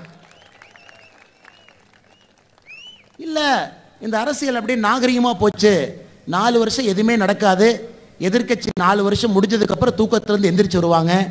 இவனுக்கு என்ன டெய்லி கேள்வி கேட்கறான்னு நினச்சிங்கன்னா அப்படித்தான் டெய்லி கேள்வி கேட்போம். அப்படித்தான் கேட்போம். அதனால் முதலமைச்சர் அவர்களுக்கு நான் அன்போடு சொல்லிக்கொள்வது இது சாமானிய மனிதர்களுக்கான காலம். இது மிட்டா மெரசுதாரர்களுக்கான காலம் இல்லை. சாமானிய மனிதன். களத்திலிருந்து எவன் வருகின்றானோ இது அவனுடைய காலம். இந்த மேடையில் மேடைக்கு பின்புறம் முன்புறம் அமர்ந்திருக்கக்கூடிய நீங்கள் அனைவருமே சாமானிய மனிதர்கள். சாமானிய மனிதர்கள். சொந்த உழைப்பில் அது இரநூறுவா சட்டையாக இருந்தாலும் சொந்த காசில் இரநூறுவா சட்டையை வாங்கி இங்கே போட்டு உட்காந்துருக்கீங்க ரெண்டாயிரம் ரூபா சட்டை நாங்கள் போடல. போடல. ஒன்றரை கோடி ரூபா காரில் வரல. வரல. பாக்கெட்டில் வச்சிருக்கிற பேனா முப்பத்தஞ்சாயிரம் ரூபா இல்லை. போடுற செருப்பு பதினஞ்சாயிரம் இல்லை. எல்லாம் இரநூறு முந்நூறு தான். இது இரநூறு முந்நூறுகளுக்கான காலம்தான் இது. ஏற்றுக்க முடியலனா கிளம்பிடுங்க அப்படி தான் இருக்கும் சாமானிய மனிதர்களுக்கான காலம்தான் இது. உங்கள் ரேஞ்சுக்கு உங்கள் லெவலுக்கு தான் ஒரு எதிரி வருவான்னு பார்த்தா என்னை மாதிரி மாடு மேய்க்கிறவன் தான் இப்போ வருவான். என்னை மாதிரி ஆடு வச்சிருக்கவன் தான் வருவான். அதை ஏற்றுக்க பழகிக்கணும். ஏற்றுக்க பழகிக்கணும். ஏற்றுக்க பழகிக்கணும். எல்லா திமுக காரனும் ஏற்றுக்க பழகிக்கணும். அது எப்படி? எங்கள் அப்பா எங்கள் தாத்தா நான் யோ நாங்கள் தனியாக வர்றோம் நீ வாயா. மொத்த குடும்பத்தை கூட்டிட்டு வா. உள்ள இருக்கிறவங்க பூமிக்குள்ள இருக்கிறவங்க எழுப்பி கூட்டிட்டு வா பார்க்கலாம். ஆயிரத்தி தொள்ளாயிரத்தி நாற்பத்தொம்போது திமுக பிறந்ததுலேருந்து உங்கள் உங்க தாத்தா பாட்டில மொத்தமா கூட்டிட்டு வா நாங்க பார்க்குறோம். எல்லாத்தையும் கூட்டிட்டு வா. எல்லாத்தையும் கூட்டிட்டு வா. அதான பிரச்சனை உங்களுக்கு? அதான பிரச்சனை. சாமானிய மனிதன் அரசியலுக்கு வரக்கூடாது. வந்தா அப்பாவை இழுத்து பேசுவ அம்மாவை தவறா பேசுவேன் அதான உன் பிரச்சனை? சாமானிய மனிதன் வந்தால் குடும்பத்தை இழுப்ப இழுத்துக்க பார்த்துக்கலாம். இழுத்துக்க பார்த்துக்கலாம். எங்கள் சவால் வந்து நாங்கள் தனியாக தான் வரும். நீ எல்லாத்தையும் கூட்டிகிட்டு வா. ஊருக்கு போ. கீதா ஜீவன் அக்காவுக்கு சேர்த்து. பெரியசாமி ஐயாலேருந்து எல்லாத்தையும் கூட்டிகிட்டு வாங்க. தம்பி கூட்டிகிட்டு வாங்க. எங்காலும் பிஜேபிக்காரன் தனியாக தான் வருவான். தனியாக ஒரு துண்டை போட்டுட்டு நானூறுரூவா சம்பாதிப்பான். அவ்வளோதான் வேலைக்கு போவான். அதில் இரநூறுவா கட்சிக்கு கொடுப்பான். அப்படி தான் வருவான். கொஞ்சம் பார்த்தா வாட்ட சாட்டமாலாம் இருக்க மாட்டான். நூறுரூவா செருப்பு போட்டிருப்பான். அப்படி தான் போட்டிருப்பான். சட்டையில் ரெண்டு பட்டனு பிஞ்சு போயிருக்கும். அப்படி தான் இருப்பான். அப்படி தான் இருப்பான். அரசியல் பண்ணி பழகிக்கணும். அப்படி தான் அரசியல் அப்படி நீக்கு போக்கா நீட்டா உங்களை மாதிரி ஒரு நாளைக்கு அஞ்சு சத்தம் மாத்திரவன்லாம் பிஜேபியில் யாரும் இல்லை. அப்படிப்பட்டவர்கள் பிஜேபிக்கு வரமாட்டாங்க. சாதாரண மனிதன் தான் அப்படித்தான் இரு பழகிக்குங்க பழகிக்குங்க. அந்த உடன்பிறப்பு கதறின மாதிரி கதறாம பக்குவமா பழகிக்கணும். காலம் மாறிடுச்சு. சாமானிய மனிதர்களுக்கான காலம் அது சாமானிய மனிதர். இல்லைன்னா எங்கேயோ பிறந்து ஏதோ ஒரு குடும்பத்தில் டீ விற்கக்கூடிய ஒரு குடும்பத்தில் பிறந்த நரேந்திர மோடி அவர்கள் எனக்கு இந்தியாவினுடைய பிரதமராக இந்த மண் உட்கார வைக்க. சாமானிய மனிதன் தான். உங்களுக்குலாம் ஆசை ரொம்ப அதிகமாகி போச்சு. கோபாலபுரத்தில் ஆசை ரொம்ப அதிகம். எல்லாம் நமக்கே வேணும். எல்லா படமும் நம்ம தான். படம் இத்தனை வாங்கிட்டு இருந்தீங்க. இப்போ படம் எடுக்கிறது நீங்கள் தான். படத்தில் நடிக்கிறதும் நீங்கள் தான். படத்தை போய் பார்க்கறது நீங்கள் தான். அந்த படத்தை நாங்கள் எதுக்கு வந்து பார்க்குறோம்? எல்லாம் நமக்கு தான் யாருக்கும் எது இருக்கக்கூடாது. எந்த கான்ட்ராக்டாக இருந்தாலும் மாப்பிள்ளை தான் பண்ணணும். மாப்பிள்ளை தவிர ஒருத்தனும் பண்ணக்கூடாது. ஏன்னா நமக்கெல்லாம் பிள்ளை குட்டி இல்லை. நமக்கெல்லாம் குழந்தைங்க இல்லை. நம்ம வீட்டில் அடுப்பில் எரிய வேண்டாம். நாம் யாரும் எந்த வேலையும் செய்ய வேண்டாம் நீயே செஞ்சுக்க. எல்லாம் மாப்பிள்ளை தான். மாப்பிள்ளை தாண்டி மிச்சம் மீதி இருந்தால் தூக்கி பிச்சை பிடிச்சிட்டு போவாங்க. இது என்னையா நினச்சிட்டு இருக்கீங்க? என்ன காலம் நினச்சிட்டு இருக்கீங்க? என்ன காலம் நினச்சிட்டு இருக்கீங்க? ரேஞ்ச் ரோவர் காரில் போயிட்டு ஒரு வீட்டுக்கு வெளியே துக்க விசாரிக்க போவாங்க. திமுகவினுடைய பட்ட தலைவரசர் ரேஞ்ச் ரோவர் காருக்குள்ளே பாத்ரூம் செப்பல் இருக்கும். நான் சொல்கிறது நீங்கள் கவனம் கவனிங்க. ஒரு மணி நேரத்துக்கு முன்னாடி எடுத்த ஃபோட்டோவில் அருமானி செப்பல் இருக்கும். முப்பத்தி அஞ்சாயிரம் ரூபா நாற்பத்தி அஞ்சாயிரம் ரூபா செப்பல். அந்த வீட்டுக்குள்ளே போகும்போது நூற்றி அறுபது ரூபா பாத்ரூம் ஸ்லிப்பர் இருக்கும். எத்தனை நாளைக்கு ஏமாத்துவீங்க? எத்தனை நாளைக்கு? குடும்ப தொலைக்காட்சியை வச்சு எத்தனை நாளைக்கு ஃபோட்டோ எடுத்து போடுவீங்க? அதை எத்தனை நாளைக்கு மக்கள் பார்ப்பாங்க? எத்தனை நாளைக்கு ஏமாத்துவீங்க? எத்தனை நாளைக்கு ஏமாற போகிறோம் எத்தனை நாளைக்கு ஏமாற திரும்ப திரும்ப அதையே போட்டு போட்டு போட்டு அரசியல் வரணும்னா ஒரு தகுதி இருக்கணுங்க. தகுதி இருக்கும் அடிப்படை தகுதி மக்களை நேசிக்கணும். அடிப்படை தகுதி. மக்களை நேசிக்க தெரிஞ்சிருக்கு நீங்களாம் மக்களை நேசிக்கிறீங்கன்னு சொன்னா வெட்கக்கேடு வெட்கக்கேடு. நீங்க மக்களை நேசிக்கிறீங்களா? உங்க குடும்பத்துல யாராச்சும் மக்களை நேசிக்கிறீங்க? தமிழகத்துல யாராச்சும் ஒருத்தர் காலத்தினுடைய கட்டாயம் சாபம். உங்களுடைய ஆட்சி தமிழக மண்ணில் இருக்க வேண்டும் என்று சாபம் இருக்கிறது அனுபவித்துக் கொண்டிருக்கின்றோம். இன்னும் கொஞ்ச நாளைக்கு அனுபவிக்கிறோம். வேற வழி இல்லை அனுபவிக்கிறோம். ஏன்னா வெயில் முடிஞ்சு நிழல் காலம் வந்தால்தான் நிழலினுடைய அருமையும் தெரியும் வெயிலினுடைய பிரச்சனையும் தெரியும். அதை அனுபவிச்சுட்டு இருக்கும். அதற்காக மக்கள் உங்களை ஏற்றுக்கொண்டு விட்டார்கள் என்று மட்டும் நினைக்காது. முதலமைச்சர் பதவிக்கு ஓட்டு போட்டிருக்காங்க. மக்களுக்கு வேற வழி இல்லை போட்டிருக்காங்க. எல்லாம் எனக்கு எல்லாம் என் குடும்பத்திற்கு என்னை தாண்டி யாரும் இருக்கக்கூடாது. என் மகனை தாண்டி யாரும் வளரக்கூடாது. என் மகனை தாண்டி பெரிய பெரிய நடிகர்கள் படம்லாம் ரிலீஸ் பண்ண முடியல இன்னைக்கு.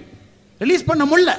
அங்க போய் கை கட்டி நின்று கும்பிட்டு வந்தா மட்டும்தான் தமிழகத்தில் எவ்வளவு பெரிய நடிகராக இருந்தாலும் கூட உங்க படத்தை ரிலீஸ் பண்ண முடியும். நீ ஒரு கோடி ரசிகர் வச்சுக்க நீ ரெண்டு கோடி ரசிகர் வச்சுக்க. ஆனால் என் பையன் முன்னாடி நீ எல்லாம் சமம் கிடையாது. இதை எந்த நடிகர் ஏற்றுக்கொள்கின்றார்களோ அந்த நடிகருடைய படம் மட்டும்தான் இந்த பொங்கலுக்கு வெளியே வரப்போகுது. நீங்கள் அதை பார்க்க தான் போறீங்க அந்த காமெடி அடுத்த பதினஞ்சு நாள். எல்லாம் எனக்கு என் குடும்பம் என்னை தாண்டி தமிழகத்தில் எதுவுமே இல்லை. அதனால தான் நீங்கள் போடுற கூலிங் கிளாஸும் கருப்பு கலரில் இருக்குது எல்லாம் கருப்பா தெரியும். ஏன்னா உங்களை தாண்டி யாருமே இல்லை நீங்கள் தான் என்கின்ற மமதை. எத்தனை நாளைக்கு ஆட போகிறீங்க பார்த்துடலாம். எத்தனை நாளைக்கு ஆட போகிறீங்க இந்த அதிகார போதை உச்சத்தில் பாரதிய ஜனதா கட்சியினுடைய தொண்டன் மீது கை வைக்கிறேங்க ஏதோ நம்மால் சைடில் அரசியல் பண்ணிகிட்டு இருக்கான் ஊரில் போய் நாலு விஷயத்தை பேசுகிறாங்க தப்பு நடந்தால் ஆர்ப்பாட்டம் பண்ணுறாங்க கோஷம் போடுறாங்க. அவனை போய் அரெஸ்ட் பண்ணி அவங்களாம் தினமும் கூலி வேலைக்கு போகிறவங்க கூலி வேலைக்கு போகிறோம் தினமும் போய் கூலி வேலைக்கு போயிட்டு அதை வைத்து குடும்பத்தை குடும்பத்தில் குட்டியெல்லாம் இருக்கு. அப்படியே அரெஸ்ட் பண்ணிட்டீங்கன்னா அப்படியே பயத்தை காட்டிட்டீங்கன்னா நாங்கள் அப்படியே பயந்துருவோம். வீட்டை விட்டு வெளியே வர மாட்டோம். அப்படியே வீட்டில் உட்காந்துருவோம். நீ அரெஸ்ட் பண்ண பண்ணத்தான் எங்கள் பொதுக்கூட்டங்கள் அதிகமாகி கொண்டிருக்கிறது. மக்கள் அதிகமாக வர ஆரம்பித்திருக்கின்றார். நீ கை வச்சுக்கிட்டே வச்சுக்கிட்டே அதிகாரங்கிறது என்னையா? நாங்கள் பார்க்காத அதிகாரம். அதிகாரங்கிறது என்ன? அது இரண்டு பக்கம் ஒரு கத்திக்கு இருக்கக்கூடிய கூர்மை போன்றது. அதிகாரங்கிறது. அதே கத்தி ஒரு நிமிஷத்தை திரும்பி உங்களை குத்தும். நாங்கள் பார்க்காத அதிகாரம் நாங்கள் பிடிக்காத துப்பாக்கி நாங்கள் சுடாத துப்பாக்கி இன்னைக்கு அதிகாரத்தை எங்கிட்ட காட்டுறோம் எங்கிட்ட காட்டுறேன் அப்படியே நாங்கள் பயந்துருவோம் அப்படியே பின்வாங்கிடுவோம் அப்படியே சாஃப்டாக விட்டு கொடுத்துருவோம் அப்படியே தமிழ்நாட்டில் அட்ஜஸ்ட்மெண்ட் பாலிடிக்ஸ் உடம்புல உயிர் இருக்கும் வரை ரத்தம் இருக்கும் வரை திமுக எதிர்ப்புங்கிறது ரத்தத்தில் இருக்கு. ரத்தத்தில் இருக்கு. இந்த அட்ஜஸ்ட்மெண்ட் பாலிடிக்ஸ்லாம் எனக்கு வராது.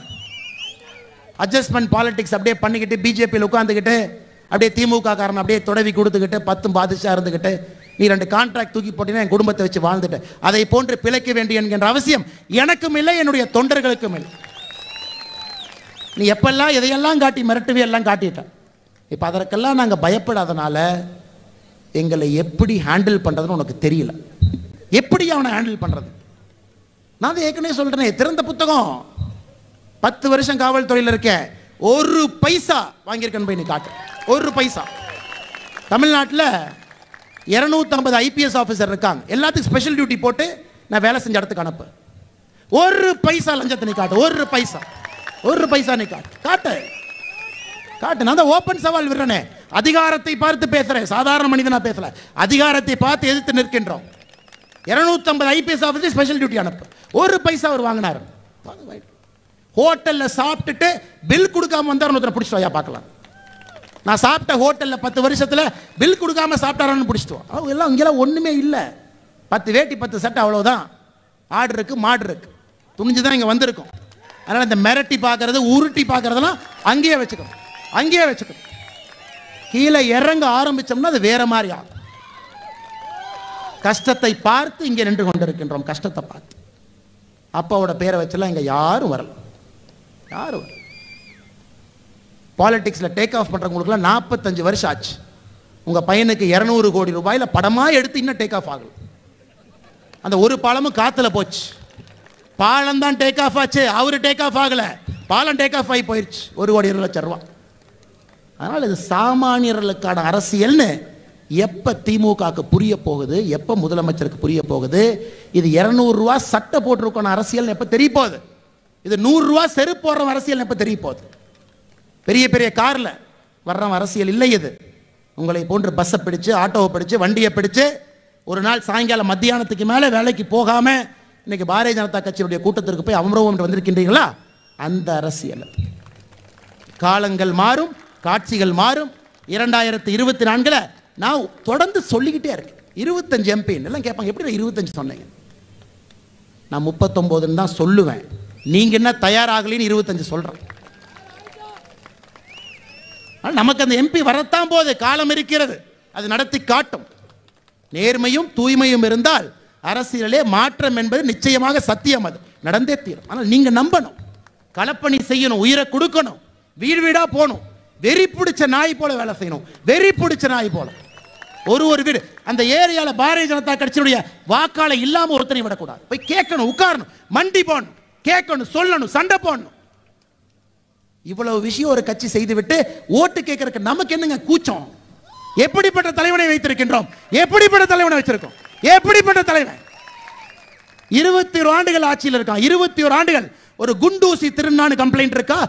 குண்டூசி திருடி விட்டான் என்று மோடி மேல கம்ப்ளைண்ட் இருக்கா? எப்படிப்பட்ட தலைவனை வைத்திருக்கின்றோம்? ஓட்டு கேட்கறதுக்கு நமக்கு எதுக்கு சங்கட பண்ணும் எதுக்கு சார் சங்கட பண்ணும் எதுக்குமா சங்கட பண்ணும் ஓட்டு கேட்கறதுக்கு? நெஞ்ச நிமிர்த்தி கேட்கணும் ஓட்ட. நெஞ்ச நிமிர்த்தி எப்படி? நெஞ்ச நிமிர்த்தி கேட்கணும். தமிழகத்தில் செஞ்சிருக்கோம். மூளை முடுக்கெல்லாம் கட்சி சென்றிருக்கிறது. நம்முடைய நலத்திட்ட பணிகள் செல்லாத இடம் கிடையாது. தாய்மாரிலிருந்து மகளிரிலிருந்து எல்லாத்துக்கும் கொடுத்துருக்கோம். எல்லாத்துக்கும் அள்ளி அள்ளி கொடுத்துருக்கோம். பாரபட்சம் எங்கேயும் பார்க்கவில்லை. அனைவரையும் மனிதர்களாக மதித்து மோடிஜி வேலை செஞ்சிருக்கார் இந்த மனுஷனுக்கு ஓட்டு ஸ்டாலினுக்கு ஓட்டு கேட்கறதுக்கு வேட்டியை மடிச்சு கட்டிக்கிட்டு கோட்டர் பாட்டில் சொருவிட்டு போறான். மோடிஜியை ஓட்டு கேட்கறதுக்கு நாம் எதுக்குங்க தலையை கீழே போட்டுட்டு போனோம்? எதுக்குங்க தலையை கீழே போட்டு போனோம்? அதனால்தான் இது அணிப்பிரிவினுடைய மாநாடு.